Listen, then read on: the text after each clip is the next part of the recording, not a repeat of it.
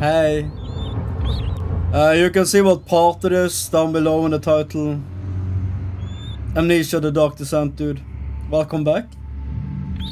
As I promised in the end of the last episode, I give you the butt. Buttocks. Alright, I think it's gone. Why? Who?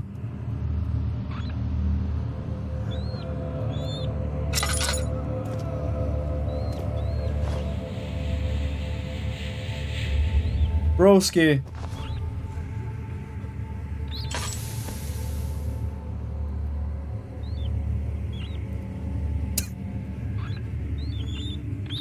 Okay.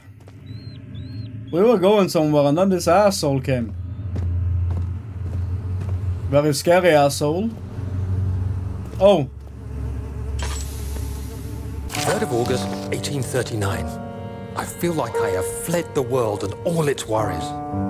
Brennenburg is a majestic creation perched upon a forest-clad hill with towers reaching well above even the highest pine trees. Following the winding road leading to the gates gives the impression of discovering something forgotten, as if journeying with Marco Polo to the hidden Xanadu. Alexander, the Baron, is a peculiar but gracious man. He seems well versed in worldly matters, and is not at all as eccentric as I assumed. My room is exquisite, and I'm confident that no hotel for miles could even hope to match it. As the sun sets on Brennenburg, its hmm. fairy tale varnish turns to an eerie gloom. Alexander's strange servants are never far away. They are a quiet lot, and their behavior could only be described as skulking. Alexander seems pleased by my presence. As he puts it, it seems like I got here just in time. Hmm.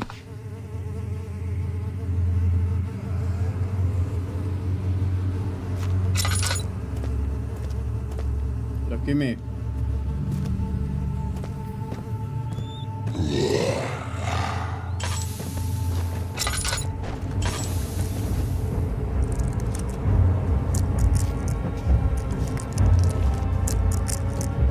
Did you see me?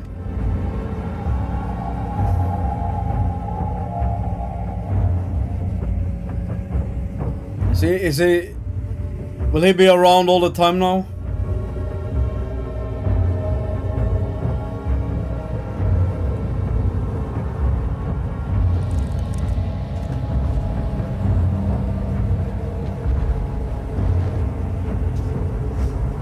Ah, I'm not going in.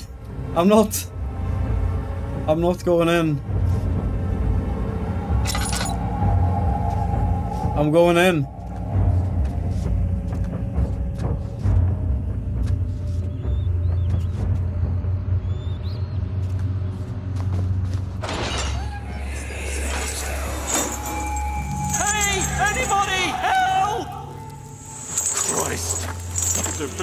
This.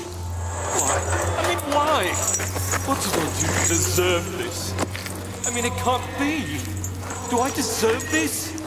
It wasn't my fault. Why did he have to go in there? Don't go into burning houses. He should have known better.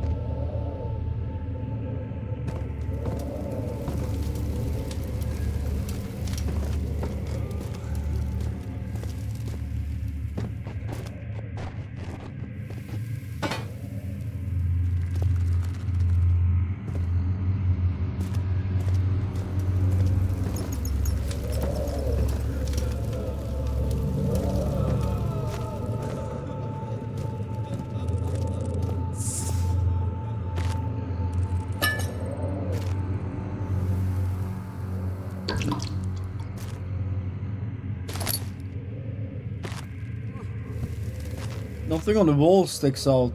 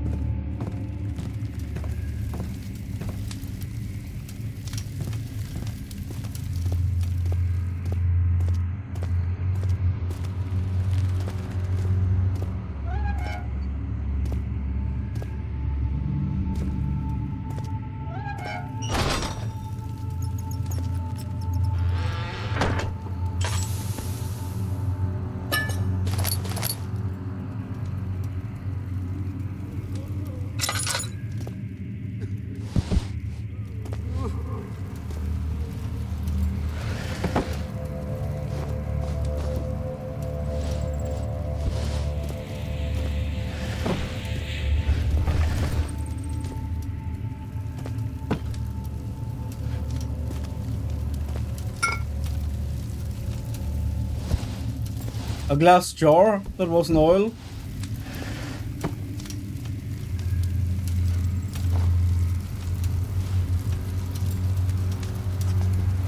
Mice, rats, whatever.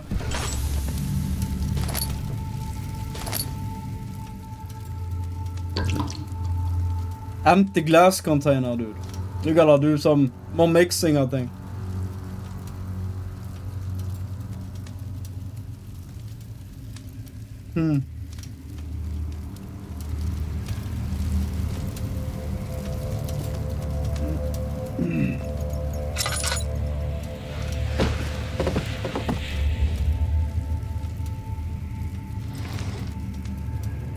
Delirium tremens Buttery applicandus. no way. Buttery applicandus. It's it's it's for the butt. Idiot. When idiots try to be funny, that's what you get, dude. Right, so that was the storage, yo. Um.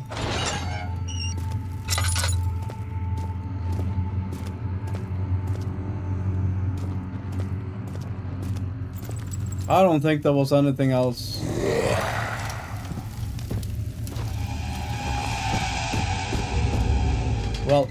Dick in a box, dude. Did he see us now?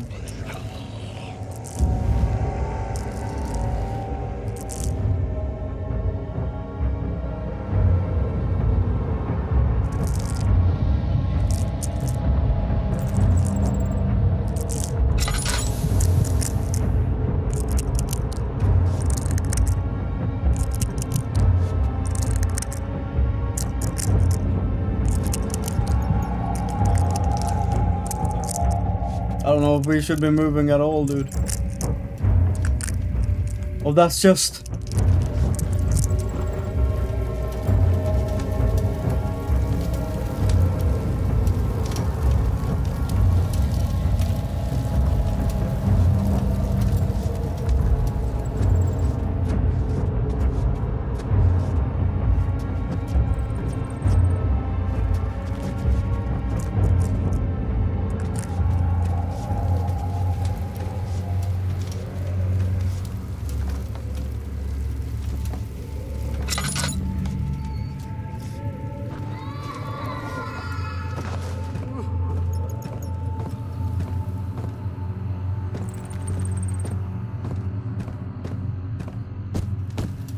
Okay, we gotta find that fucking kitchen though for some fucking reason. I don't know. I don't know why.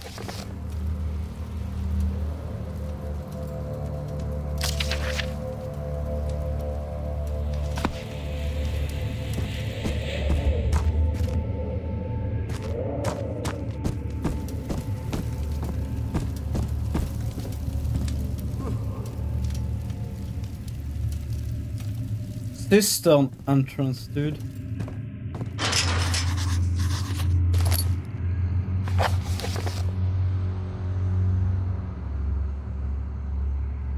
Leading out of this area is locked by a worn padlock. Worn.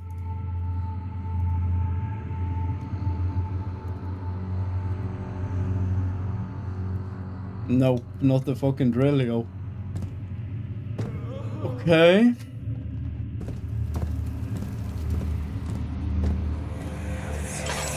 Hey, you! Stop! Don't come any closer. I just want to leave. Is that the girl? Go outside! It's too dangerous! I'm telling Gabriel. I doubt that very much.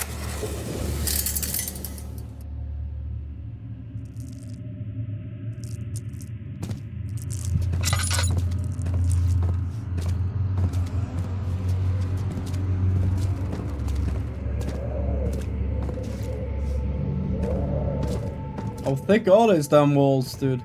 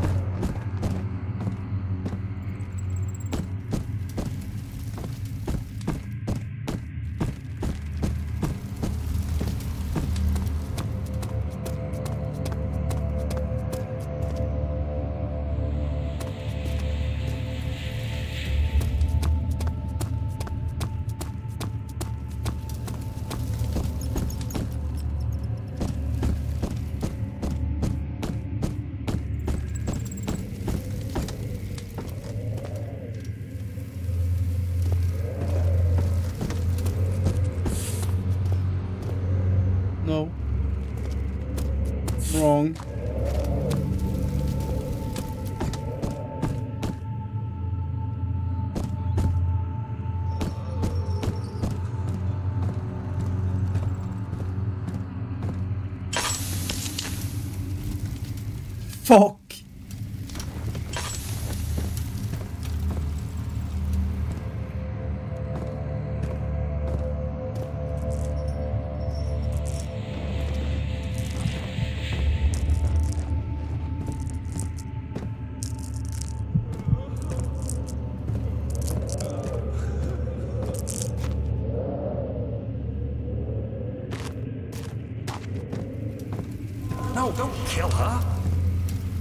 What? Kill her? Who? Who kills?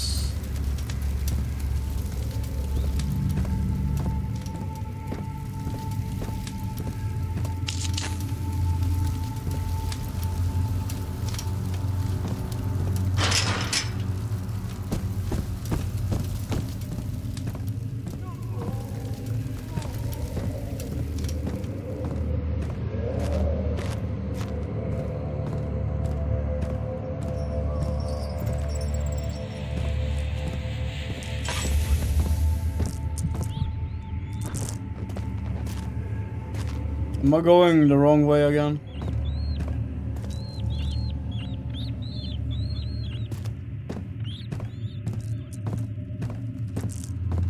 Oh, I can't see shit.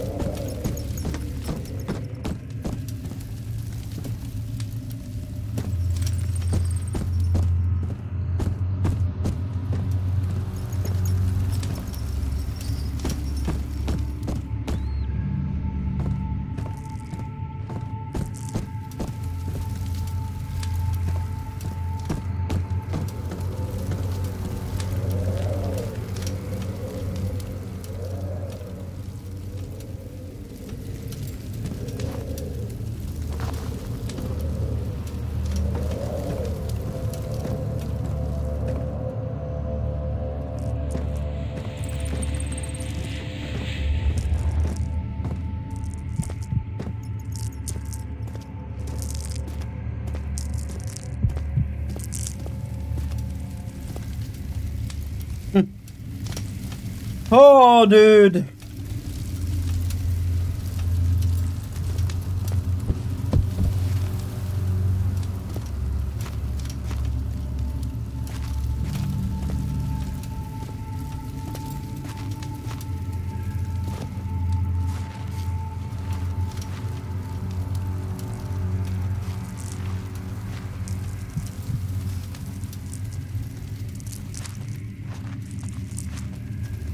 Is this this is where I came from?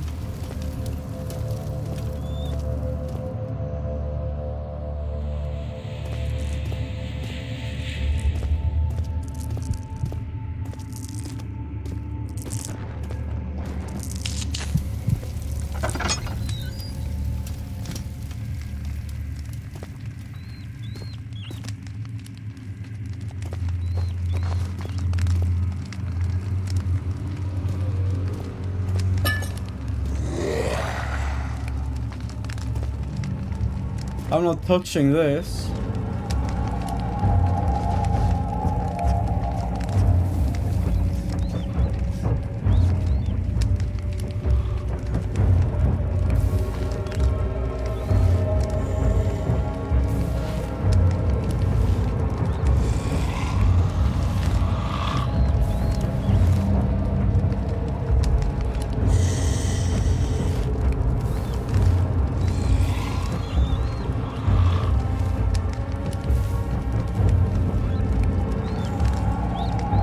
One's fucking catching us. Not today. Not today, yo. Not today.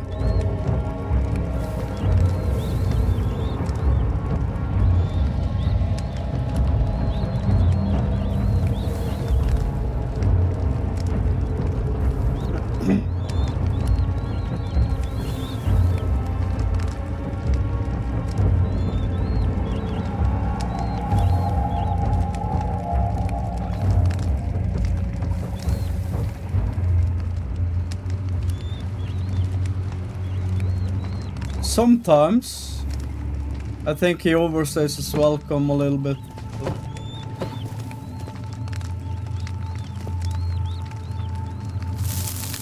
I thought I could grab idiot.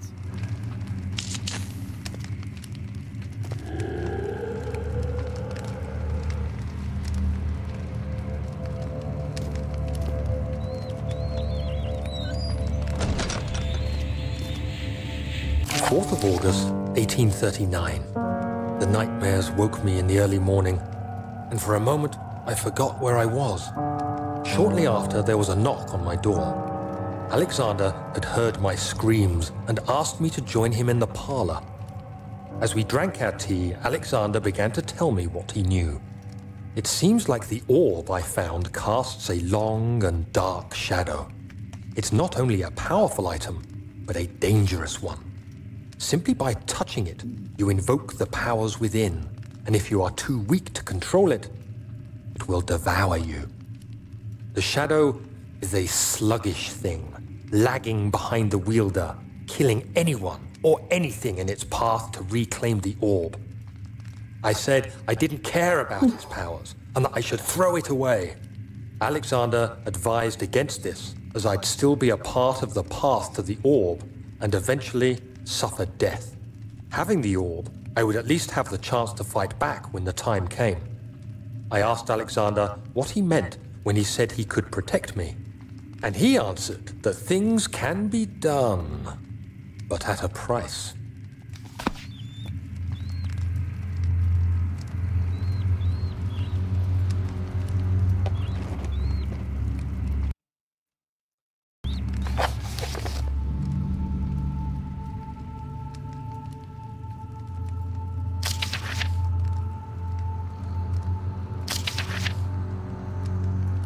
I said I didn't care about its powers, and that I should throw it away.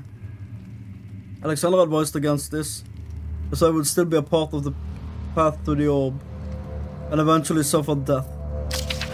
Having the orb, I would at least have the chance to fight back when the time came. I asked Alexander what he meant when he said he could protect me, and he answered that things can be done, but at a price. Yeah. Okay. What a tiny fee. Bread.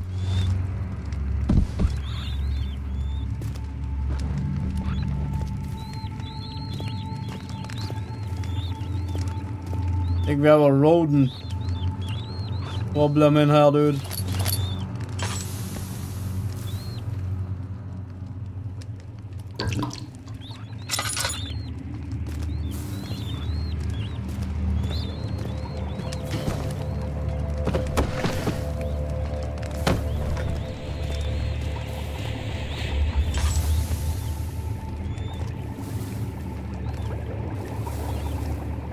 Don't know what the fuck that is. Acid.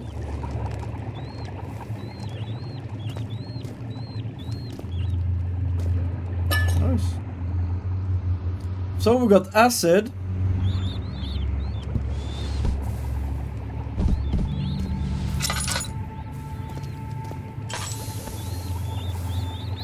Hope we don't spill it.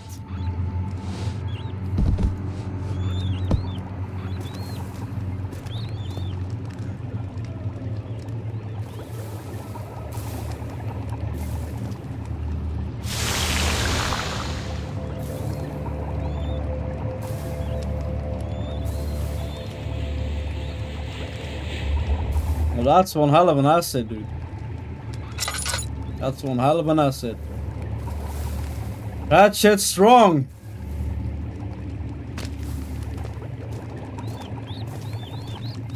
So what should we go and dissolve with that acid though? Maybe a... Maybe a padlock? Just maybe a padlock?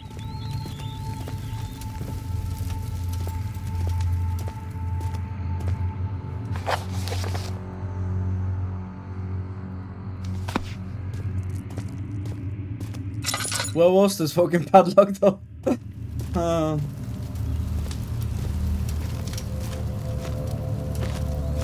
what was this way? Have I been here? I don't... Oh, this is the fucking... No, this is... This is the other padlock, right? That's not the one we're after.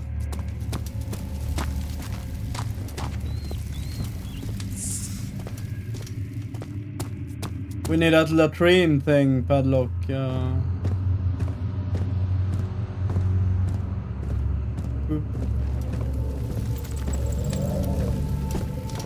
If only I could remember where it was though.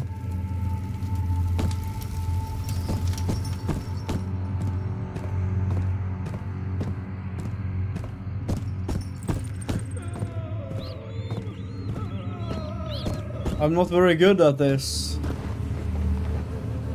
Backtracking of, of finding stuff I already have seen uh, on purpose.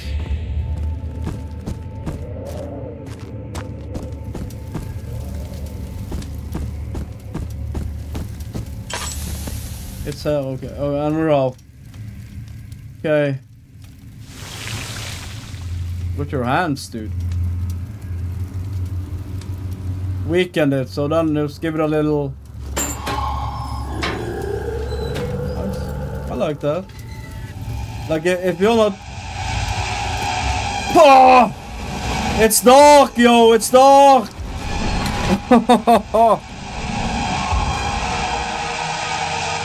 it's so loud! It's so fucking loud, dude! It's so loud! I... So you used the drain sewers as a means of transport? Yes, they were built to divert water from an underground spring and are quite spacious. It seemed only natural to incorporate it into the overall structure. But we won't be using it. Not today. The flow is seasonal, and when the spring runs dry, the damp tunnels produce a rather poisonous type of fungi. There is an antidote, of course, but we won't be bothering with it today. Come, this way instead. We're almost there.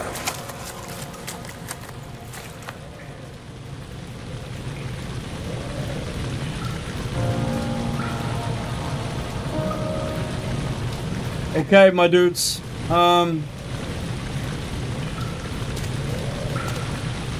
I think we're it here, and um, hopefully I'll see you again, right? Have a good one, okay? Peace.